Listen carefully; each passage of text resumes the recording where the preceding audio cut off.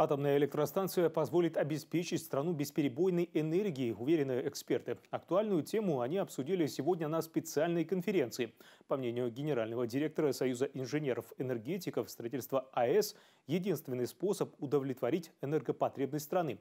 Он отметил, что с 2026 года, согласно Парижскому соглашению, которое обязывает снизить углеродные выбросы, страна будет вынуждена постепенно отойти от угольных станций.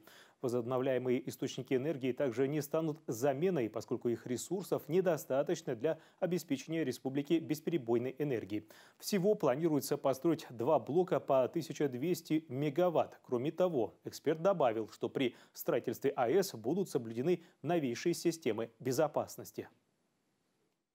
У энергетиков есть правило, чтобы энергия была стабильная, надежная. Вот это как раз предоставит нас э, атомная станция.